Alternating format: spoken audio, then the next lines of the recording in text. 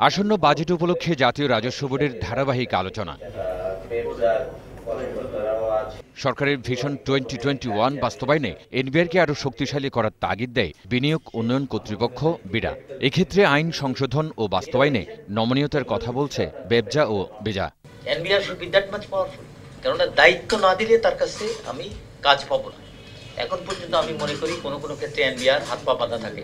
এটা আপনার মুক্ত হওয়া দরকার। টোটাল সেভেন্টিন বিলিয়ন ডলার আমাদের ইকোনমিক জোনগুলোতে সেভেন্টিন বিলিয়ন ডলারের প্রস্তাব আমরা এখন বাস্তবায়ন করছি এগুলো।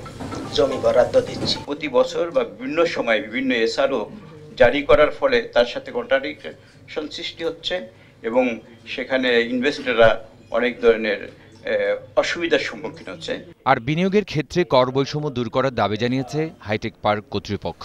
হাইটেক পার্ক ছাড়া সব জায়গাতে কিন্তু স্যার আপনারা দুই হাজার চব্বিশ পর্যন্ত কিন্তু এটা হান্ড্রেড পার্সেন্ট ট্যাক্স এক্সামশন দিয়েছেন। টেন পার্সেন্ট হারে উৎস কর ও ফিফটিন হারে ব্যাট প্রযোজ্য রয়েছে যা অনঅফিসিয়াল পদ্ধতিতে রেমিটেন্সমেন্টের কারণ হতে পারে।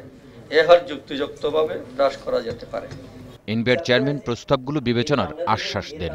নতুন আইন দুই হাজার প্রণীত আইনটি এখনও কার্যকর করা যায়নি। দুই হাজার হবে কিন্তু ভ্যাট প্রদান এটি চালু আছে দুই হাজার উনিশশো একানব্বই সন থেকেই।